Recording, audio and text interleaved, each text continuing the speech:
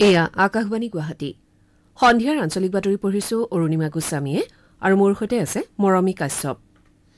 এতিয়া প্ৰধান বাতৰিসমূহ হ'ল দিছপুৰত কাইলৈৰ পৰা অসম বিধানসভাৰ বাজেট অধিৱেশন ষোল্ল মাৰ্চত দাখিল হ'ব দুহেজাৰ একৈশ বাইছ বিত্তীয় বৰ্ষৰ ৰাজ্যিক বাজেট সংসদৰ চলিত বৰ্ষৰ বাজেট অধিৱেশনৰ দ্বিতীয় পৰ্যায় কাইলৈ আৰম্ভ প্ৰধানমন্ত্ৰী নৰেন্দ্ৰ মোদীৰ ইউক্ৰেইনৰ শেহতীয়া পৰিস্থিতিৰ পৰিপ্ৰেক্ষিতত ভাৰতৰ নিৰাপত্তা প্ৰস্তুতি পৰ্যালোচনা কেন্দ্ৰীয় আয়ুষ মন্ত্ৰী সৰ্বানন্দ সোণোৱালৰ নতুন দিল্লীত যোগ মহোৎসৱ দুহেজাৰ বাইছ উদ্বোধন আৰু শ্ৰীলংকাৰ বিৰুদ্ধে চলিত টেষ্ট শৃংখলাৰ দ্বিতীয়খন খেলত ভাৰত শক্তিশালী স্থিতিত উপনীত। বাতৰিৰ আৰম্ভণিতে আমি আমাৰ শ্ৰোতাসকলক কভিড নাইণ্টিনৰ পৰা সুৰক্ষিত হৈ থকাৰ উদ্দেশ্যে চাৰিটা সহজ বিধি মানি চলিবলৈ অনুৰোধ জনাইছো। সম্পূৰ্ণৰূপে প্ৰতিষেধক গ্ৰহণ কৰক মাস্ক পৰিধান কৰক দুগজ দূৰত্ব বৰ্তাই ৰাখক হাত আৰু মুখৰ পৰিষ্কাৰ পৰিচ্ছন্নতাত গুৰুত্ব আৰোপ কৰক। এতিয়া শুনক বিতং বাতৰি। অসম বিধানসভাৰ বাজেট অধিৱেশন কাইলৈৰ পৰা দিছপুৰত অনুষ্ঠিত হ'ব। বিত্তমন্ত্ৰী অজন্তা নেওগে অহা ষোল্ল মাৰ্চত দুহেজাৰ একৈশ বাইছ বিত্তীয় বৰ্ষৰ বাজেট উত্থাপন কৰিব। এই অধিৱেশনত তেৰখন বিধেয়ক উত্থাপন কৰাৰ সম্ভাৱনা আছে। ইয়াৰ ভিতৰত অধিকাংশই সংশোধনী বিধেয়ক বুলি জানিব পৰা গৈছে। সংসদৰ চলিত বৰ্ষৰ বাজেট অধিৱেশনৰ দ্বিতীয় পৰ্যায় কাইলৈ আৰম্ভ হ'ব। অহা আঠ এপ্ৰিলত সামৰণি পৰিবলগীয়া এই অধিৱেশনত ঊনৈছখন বৈঠক অনুষ্ঠিত হ'ব। সংসদৰ উভয় সদনৰ কাম কাজ পুনৰ স্বাভাৱিক ৰূপত সম্পন্ন কৰাৰ বাবে লোকসভা আৰু ৰাজ্যসভাৰ অধিৱেশন একে সময়তে অৰ্থাৎ দিনৰ এঘাৰ বজাৰ পৰা ছয় বজালৈ অনুষ্ঠিত হ'ব। দেশত কভিড নাইণ্টিনৰ সংক্ৰমণ হ্ৰাস পোৱাৰ প্ৰতি লক্ষ্য ৰাখি এই সিদ্ধান্ত লোৱা হৈছে। উল্লেখযোগ্য যে এই মহামাৰীৰ প্ৰাদুৰ্ভাৱৰ পৰিপ্ৰেক্ষিতত দুয়োখন সদনৰ প্ৰথম পৰ্যায়ৰ কাম কাজ সুকীয়া সময়ত অনুষ্ঠিত হৈছিল। এইবাৰৰ অধিৱেশনত ৰাজ্যসভাই ঊনৈছ ঘণ্টা অতিৰিক্ত সময় কাম কাজ পৰিচালনাৰ বাবে লাভ কৰিব। এমাহৰ বিৰতিৰ পাছত অধিৱেশনৰ দ্বিতীয় পৰ্যায় আৰম্ভ কৰিবলৈ লোৱা সিদ্ধান্তৰ পৰিপ্ৰেক্ষিতত সংসদৰ স্থায়ী সমিতিসমূহে বিভিন্ন মন্ত্ৰালয় আৰু বিভাগৰ দাবী মঞ্জুৰীসমূহ পৰীক্ষা কৰে। ৰাজ্যসভাৰ সভাপতি এম ভেংকায়া নাইডুৱে কাইলৈ উচ্চ সদনত আঠখন স্থায়ী সমিতিৰ কাম কাজৰ প্ৰতিবেদন দাখিল কৰাৰ সম্ভাৱনা আছে। এই পৰ্যায়ৰ অধিৱেশনত কেইবাখনো গুৰুত্বপূৰ্ণ বিধেয়কো উত্থাপনৰ সম্ভাৱনা আছে। ইয়াৰ ভিতৰত বিত্তীয় বিধেয়ক দুহেজাৰ বাইছ ৰাষ্ট্ৰীয় দন্ত আয়োগ বিধেয়ক শক্তি সংৰক্ষণ সংশোধনী বিধেয়ক ইত্যাদি। উল্লেখযোগ্য যে যোৱা একত্ৰিশ জানুৱাৰীত ৰাষ্ট্ৰপতি শ্ৰী ৰামনাথ কোবিন্দৰ ভাষণেৰে সংসদৰ বাজেট অধিৱেশন আৰম্ভ হৈছিল। এই পৰ্যায়ৰ অধিৱেশন যোৱা এঘাৰ ফেব্ৰুৱাৰীত স্থগিত ৰখা হৈছিল। প্ৰধানমন্ত্ৰী নৰেন্দ্ৰ মোদীয়ে আজি ইউক্ৰেইনৰ শেহতীয়া পৰিস্থিতিৰ পৰিপ্ৰেক্ষিতত ভাৰতৰ নিৰাপত্তা বিষয়ক প্ৰস্তুতি আৰু আন্তঃৰাষ্ট্ৰীয় প্ৰেক্ষাপট সন্দৰ্ভত নিৰাপত্তা সম্পৰ্কীয় কেবিনেট সমিতিৰ বৈঠক পৰ্যালোচনা কৰে। বৈঠকত অধ্যক্ষতা কৰি শ্ৰীমোদীয়ে দেশৰ সীমান্ত অঞ্চলৰ লগতে সামুদ্ৰিক অঞ্চল আৰু আকাশমাৰ্গৰ নিৰাপত্তা ব্যৱস্থাৰ বুজ লয়। প্ৰধানমন্ত্ৰীগৰাকীক এই বৈঠকত ইউক্ৰেইনৰ শেহতীয়া পৰিস্থিতি আৰু অপাৰেশ্যন গংগা সন্দৰ্ভতো অৱগত কৰোৱা হয়। উল্লেখযোগ্য যে এই অভিযানৰ অধীনত যুদ্ধজৰ্জৰ দেশখনত আবদ্ধ হৈ পৰা ভাৰতীয় লোকসকলৰ লগতে প্ৰতিবেশী ৰাষ্ট্ৰৰ ভালেমান লোকক নিৰাপদে স্থানান্তৰ কৰা হৈছে। শ্ৰীমোদীয়ে খাৰ্কিভত মৃত্যু হোৱা ভাৰতীয় যুৱক নবীন শেখাৰাপ্পাৰ নশ্বৰ স্বদেশলৈ উভতাই অনাৰ বাবে সম্ভৱপৰ সকলো ব্যৱস্থা গ্ৰহণ কৰিবলৈ নিৰ্দেশ দিছে। প্ৰধানমন্ত্ৰীয়ে এই বৈঠকত আন্তঃৰাষ্ট্ৰীয় পৰ্যায়ত প্ৰতিৰক্ষা খণ্ডত ব্যৱহৃত প্ৰযুক্তি আৰু ভাৰতে এই ক্ষেত্ৰত লাভ কৰা অগ্ৰগতি পৰ্যালোচনা কৰে। তেওঁ দেশৰ সুৰক্ষা খণ্ডৰ উন্নীতকৰণৰ বাবে শেহতীয়া আৰু উন্নত ব্যৱহাৰৰ ওপৰত গুৰুত্ব আৰোপ কৰে। শ্ৰীমোদীয়ে কয় যে ভাৰতক প্ৰতিৰক্ষা খণ্ডত আত্মনিৰ্ভৰ কৰি সুৰক্ষা ব্যৱস্থা শক্তিশালী কৰাৰ লগতে অৰ্থনৈতিক বিকাশ ত্বৰান্বিত কৰিব লাগিব। এই বৈঠকত প্ৰতিৰক্ষা মন্ত্ৰী ৰাজনাথ সিং বৈদেশিক পৰিক্ৰমা মন্ত্ৰী ডঃ এছ জয়শংকৰ বিত্তমন্ত্ৰী নিৰ্মলা সীতাৰমন ৰাষ্ট্ৰীয় সুৰক্ষা উপদেষ্টা অজিত ডোভালৰ লগতে ভালেমান শীৰ্ষ বিষয়াই অংশগ্ৰহণ কৰে।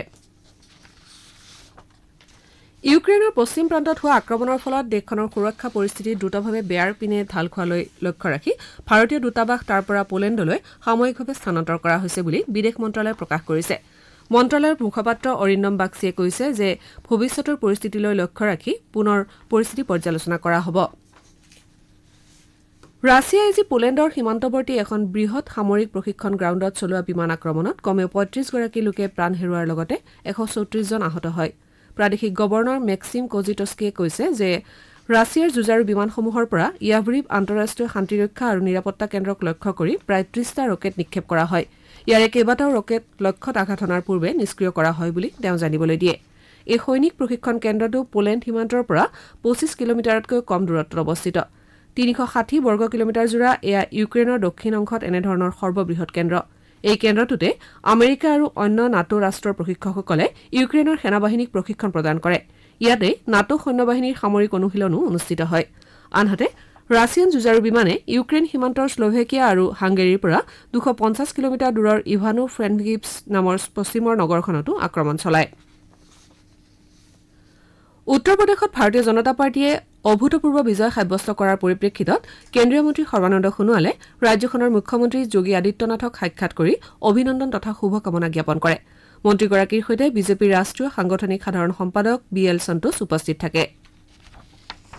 এতিয়া খন্তেক বাণিজ্যিক বিৰতি।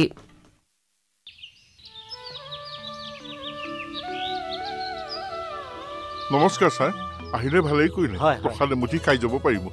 কিহৰ প্ৰসাদ? গাইজনী বসন্ত ওলাইছে নহয় তাকে শৰাই এখন আগবঢ়াইছো। বসন্ত নহয় এয়া চবক আহে? আৰু শৰাই দিলেই চবকা ভাল নহয় নহয়। অ। তাৰোপৰি আগতীয়াকৈ চিতা দিলে। চবকা নহয়েই। আজিহে বুজিলো। পশুধনক বছৰি কমেও দুবাৰকৈ চবকাৰ প্ৰতিষেধক প্ৰদান কৰক। ৰাষ্ট্ৰীয় পশুধন অভিযান অসম।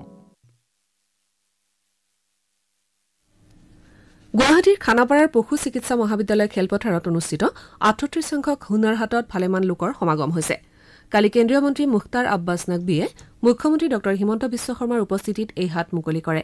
ইয়াৰ পূৰ্বে দেশৰ সাতত্ৰিশখন চহৰত হুনৰ হাট মুকলি কৰা হৈছিল আৰু এই ধাৰা অব্যাহত ৰখা হ'ব বুলি কেন্দ্ৰীয় চৰকাৰে প্ৰকাশ কৰিছে। উল্লেখযোগ্য যে দেশৰ বিভিন্ন অঞ্চলৰ হস্তশিল্পী আৰু কাৰুশিল্পীসকলৰ শিল্প নৈপুণ্যৰ প্ৰদৰ্শন কৰি তেওঁলোকক এখন উপযুক্ত বজাৰ দিয়াৰ লগতে বিভিন্ন অঞ্চলৰ শিল্প সংস্কৃতিৰ সমন্বয়ৰ উদ্দেশ্যে এই হাট মুকলি কৰাৰ লক্ষ্য লোৱা হৈছিল। প্ৰধানমন্ত্ৰী নৰেন্দ্ৰ মোদীৰ নিৰ্দেশত আৰু কেন্দ্ৰীয় সংখ্যালঘু পৰিক্ৰমা মন্ত্ৰী নকবীৰ নেতৃত্বত এই হাটে দেশৰ সকলো স্থানতে বিপুল জনপ্ৰিয়তা অৰ্জন কৰিছে। এইবাৰ গুৱাহাটীত অনুষ্ঠিত হাটত খাদ্য মেলাই জনসাধাৰণক বিশেষকৈ আকৰ্ষিত কৰিছে। ইয়াত দেশৰ বিভিন্ন অঞ্চলৰ সুস্বাদু পৰম্পৰাগত খাদ্যৰ পঞ্চাছখন বিপণী ৰাইজৰ বাবে মুকলি কৰা হৈছে। নিৰামিষ খাদ্যৰ উপৰি আমিষ খাদ্য আৰু মিঠাইৰ বিপণীও ইয়াত মুকলি কৰা হৈছে। তদুপৰি পৰিষ্কাৰ পৰিচ্ছন্নতা বজাই ৰখাৰ লগতে আয়োজকৰ বাবেও বহিবলৈ উপযুক্ত ব্যৱস্থা ৰখা হৈছে। শ্ৰোতাসকলে সন্ধিয়াৰ আঞ্চলিক বাতৰি শুনিছে আকাশবাণী গুৱাহাটী কেন্দ্ৰৰ পৰা। আপোনালোকে এই বাতৰি আমাৰ YouTube channel Air News Guwahati আৰু নিউজ অন এয়াৰ এপযোগেও শুনিব পাৰিব। পৰৱৰ্তী বাতৰি শুনক মৰমী কাশ্যপৰ পৰা। কেন্দ্ৰীয় আয়ুষ মন্ত্ৰী সৰ্বানন্দ সোণোৱালে কৈছে যে ভাৰত যোগ আৰু পৰম্পৰাগত চিকিৎসাৰ ক্ষেত্ৰত বিশ্বক পথ প্ৰদৰ্শনৰ বাবে উত্তম স্থিতিত আছে। শ্ৰীসোণোৱালে আজি নতুন দিল্লীত অষ্টম আন্তঃৰাষ্ট্ৰীয় যোগ দিৱসৰ এশদিনীয়া ক্ষণ গণনাৰ লগত সংগতি ৰাখি আয়োজন কৰা যোগ মহোৎসৱ দুহেজাৰ বাইছ উদ্বোধন কৰি এইদৰে মন্তব্য কৰে। সমগ্ৰ বিশ্বত স্বাস্থ্য কল্যাণ আৰু শান্তিত উদগনি যোগোৱাৰ বাবে এটা গণ আন্দোলন গঢ়ি তোলাৰ এয়াই সুযোগ বুলি মন্ত্ৰীগৰাকীয়ে প্ৰকাশ কৰে। তেওঁ কয় যে ভাৰতত বিশ্ব স্বাস্থ্য সংস্থাৰ গোলকীয় পৰম্পৰাগত চিকিৎসা কেন্দ্ৰ স্থাপন কৰা হ'ব আৰু কেন্দ্ৰটো যোগাভ্যাস আৰু পৰম্পৰাগত চিকিৎসা প্ৰথাৰ জ্ঞানেৰে সমৃদ্ধ হ'ব। তেওঁ লগতে কয় যে পঁচিছ কোটি লোকে আয়ুষ মন্ত্ৰালয় বিকশাই তোলা যোগাভ্যাসৰ উমৈহতীয়া নিয়মাৱলী মানি চলে। আয়ুষ মন্ত্ৰালয়ে যোগাভ্যাসক বিশ্ব শান্তিৰ হকে ভাৰতৰ ব্ৰেণ্ড আৰু এক ভাৰত শ্ৰেষ্ঠ ভাৰত অভিযানৰ মূল মন্ত্ৰ হিচাপে গঢ়ি তোলাৰ বাবে ভালেমান পদক্ষেপ লৈছে বুলি শ্ৰীসোণোৱালে কয়। অহা একৈশ জুনত পালন কৰিবলগীয়া এই বছৰৰ আন্তঃৰাষ্ট্ৰীয় যোগ দিৱস পৰ্যন্ত এশ দিনত বিশ্বৰ এশখন চহৰ আৰু এশটা সংস্থা সামৰি লোৱা হ'ব। আজাদী কা অমৃত মহোৎসৱ উদযাপন কল্পে এইবেলি অহা একৈশ জুনত পঁয়সত্তৰটা ঐতিহাসিক আৰু প্ৰসিদ্ধ সাংস্কৃতিক স্থানত যোগাভ্যাস প্ৰদৰ্শন কৰা হ'ব। যোগ দিৱস উপলক্ষে এইবাৰ দেশৰ লগতে বিদেশতো যোগাভ্যাস প্ৰদৰ্শন যোগ কাৰ্যসূচী কৰ্মশালা আলোচনা চক্ৰ আদি আয়োজন কৰা হৈছে। যোগ দিৱস উপলক্ষে মাই গভ মঞ্চৰ জৰিয়তে ফটো প্ৰতিযোগিতা কুইজ আলোচনা সংকল্প ভোটদান জৰীপ আৰু জিংগলসহ ভালেমান জনসাধাৰণ কেন্দ্ৰিক কাৰ্যসূচীৰ আয়োজন কৰা হৈছে। উত্তৰ পূব সীমান্ত ৰেলৱে সুৰক্ষা বাহিনীয়ে যোৱা কেইটামান দিনত ছটা পৃথক স্থানত অবৈধভাৱে বিক্ৰী কৰা নব্বৈ হাজাৰ টকাৰো অধিক মূল্যৰ পঁয়ষষ্ঠিটা ৰেলৱে টিকট উদ্ধাৰ কৰে। এই অভিযানৰ সময়ত ছজন লোকক আটক কৰি তেওঁলোকৰ বিৰুদ্ধে গোচৰ ৰুজু কৰা হৈছে। উল্লেখযোগ্য যে উত্তৰ পূব সীমান্ত ৰেলৱে সুৰক্ষা বাহিনীয়ে ৰেলৱে টিকটৰ অবৈধ বিক্ৰী প্ৰতিহত কৰাৰ বাবে এই কাৰ্যকলাপৰ ওপৰত তীক্ষ্ণ দৃষ্টি অব্যাহত ৰাখিছে। মৰিগাঁও জিলাৰ জীৱন জ্যোতি কৃষক সংঘই দুহেজাৰ একৈশ বাইছ বৰ্ষৰ শ্ৰেষ্ঠ যুৱ ক্লাব বঁটাৰ বাবে নিৰ্বাচিত হৈছে। উল্লেখযোগ্য যে কেন্দ্ৰীয় চৰকাৰৰ ক্ৰীড়া আৰু যুৱ কল্যাণ মন্ত্ৰালয়ে সমগ্ৰ দেশৰ প্ৰতিখন জিলালৈ একোটাকৈ শ্ৰেষ্ঠ যুৱ ক্লাব বঁটা প্ৰদান কৰি আহিছে। ঐতিহাসিক চাৰণ বিলৰ চৌহদত অৱস্থিত জিলাখনৰ অন্যতম প্ৰকৃতিপ্ৰেমী কৃষক সংগঠন জীৱন জ্যোতি সংঘই এই বছৰত জৈৱিকভাৱে বিভিন্ন শাক পাচলিৰ খেতি কৰাৰ উপৰি বিভিন্ন প্ৰকাৰৰ কৃষি পাম খুলি জীৱিকাৰ পথ প্ৰদৰ্শক হিচাপে উল্লেখযোগ্য ভূমিকা পালন কৰি আহিছে। কৰোনা মহামাৰীৰ সময়তো সংঘটোৱে সজাগতা সভা পাতি চৰকাৰৰ সকলো নীতি নিয়ম প্ৰচাৰ কৰাৰ লগতে মাস্ক ছেনিটাইজাৰ আদিৰ লগতে অসহায় পৰিয়ালক বিনামূলীয়াকৈ খাদ্যৰো যোগান ধৰে। শিৱসাগৰত আজি দ্বিতীয় বছৰৰ বাবে হেৰিটেজ চাইক্লথন অনুষ্ঠিত হয়। জিলাখনৰ ঐতিহাসিক শিৱদৌলৰ শিৱদৌলৰ পৰা আৰম্ভ হোৱা চাইক্লথনত ভিন ভিন বয়সৰ কেইবাশ চাইকেল প্ৰেমীয়ে অংশগ্ৰহণ কৰে। স্বাস্থ্য আৰু পৰ্যটন খণ্ডৰ সজাগতাৰ উদ্দেশ্যে অনুষ্ঠিত এই চাইকেল সমদল জিলাখনৰ উপায়ুক্ত মেঘ তিথি দাহালে উদ্বোধন কৰে। শিৱসাগৰৰ পৰা গড়গাঁও নাজিৰা মেজেঙা নামতি কালুগাঁও মগৰাহাট ৰংঘৰ আৰু জয়সাগৰ হৈ পুনৰ শিৱসাগৰ নগৰত উপস্থিত হয়। স্বাস্থ্যৰ লগতে পৰ্যটনৰ লক্ষ্য লৈ সম্পন্ন হোৱা এই চাইকেল সমদলে শিৱসাগৰৰ লগতে সমগ্ৰ ৰাজ্যতে গণসজাগতা সৃষ্টি কৰিছে। দৰং জিলাৰ দলগাঁৱত আৰক্ষীয়ে যোৱা নিশা ড্ৰাগছসহ দুজন লোকক আটক কৰে।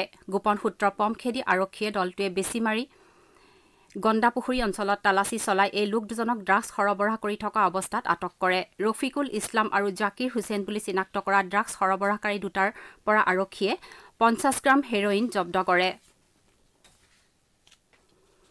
বাক্সা জিলাৰ কাৰহানাত অৱস্থিত শ্ৰী শ্ৰী দেৱ দামোদৰ ধামত শ্ৰী শ্ৰী দেৱ দামোদৰ গুৰুৰ পাঁচশ চৌত্ৰিশ সংখ্যক জন্ম উৎসৱ দুদিনীয়া কাৰ্যসূচীৰে অনুষ্ঠিত কৰা হয়। এই উপলক্ষে আজি অবিভক্ত জালাহ উন্নয়ন খণ্ড দেৱ দামোদৰ সংঘৰ সভাপতি লক্ষ্মীনাৰায়ণ গোস্বামীৰ সভাপতিত্বত বৈদিক সনাতন ভাগৱতী বৈষ্ণৱ ধৰ্ম আৰু মহাপুৰুষ শ্ৰী শ্ৰী দামোদৰ দেৱ শীৰ্ষক এখন ধৰ্মালোচনা অনুষ্ঠিত হয়। ৰাষ্ট্ৰজোৰা কভিড প্ৰতিষেধক প্ৰদান অভিযানৰ অধীনত দেশত বৰ্তমানলৈকে এশ আশী কোটি তেৰ লাখৰো অধিক পালিৰ প্ৰতিষেধক প্ৰদান কৰা হৈছে। স্বাস্থ্য মন্ত্ৰালয়ে প্ৰকাশ কৰা তথ্য অনুসৰি শেহতীয়াকৈ চৌব্বিছ ঘণ্টাত বিছ লাখ একত্ৰিছ হাজাৰৰো অধিক পালিৰ প্ৰতিষেধক দিয়া হয়। মন্ত্ৰালয়ে জনোৱা মতে শেহতীয়াকৈ চৌব্বিছ ঘণ্টাত তিনি হাজাৰ এশ ষোল্লগৰাকী কৰোণা আক্ৰান্ত চিনাক্ত কৰা হৈছে। দেশত সম্প্ৰতি আৰোগ্যৰ হাৰ হৈছে আঠানব্বৈ দশমিক সাত এক শতাংশ। ইফালে শেহতীয়াকৈ চৌব্বিছ ঘণ্টাত পাঁচ হাজাৰতকৈ অধিক লোকে কভিডৰ পৰা আৰোগ্য লাভ কৰে। মণিপুৰত বিজেপি নেতা তথা প্ৰাক্তন শিক্ষামন্ত্ৰী এছ ৰাজনক বিধানসভাৰ অস্থায়ী অধ্যক্ষ হিচাপে নিয়োগ কৰা হৈছে।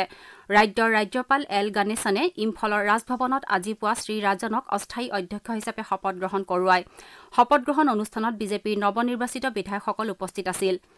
ইপিনে মণিপুৰত এখন নতুন চৰকাৰ গঠনৰ বিষয়টো চূড়ান্ত কৰাৰ বাবে বিজেপিৰ কেন্দ্ৰীয় নেতৃবৰ্গ আজি ইম্ফলত উপস্থিত হোৱাৰ কথা।